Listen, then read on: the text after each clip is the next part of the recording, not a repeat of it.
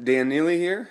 I'm here to share with you a gluten-free, vegan, super awesome breakfast that's very quick, easy, and healthy. I make it every day, at least during the work week. It takes only uh, less than 10 minutes. I don't have to pay attention to it. This is what we got. Some slow oats. This is gluten-free.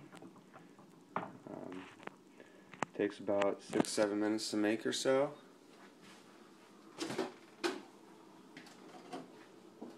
We got some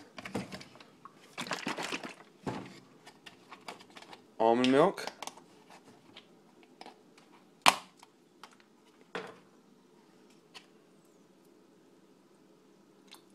Just a little bit of that.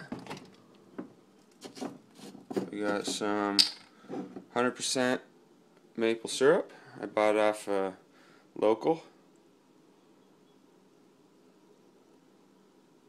A little bit of that. Here we got some pecans, some walnuts, and some almonds. Buy them in the bulk food section. I grab a handful.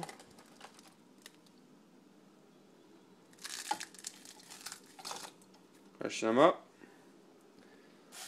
Some raisins, also from the bulk.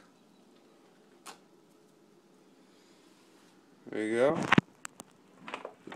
a little tiny dash of brown sugar. Stir it up. I usually take it with me to go. I work so early. 6:11. I got to get out the door in a minute. But there you have it. Every day, the work week, easy, under two minutes.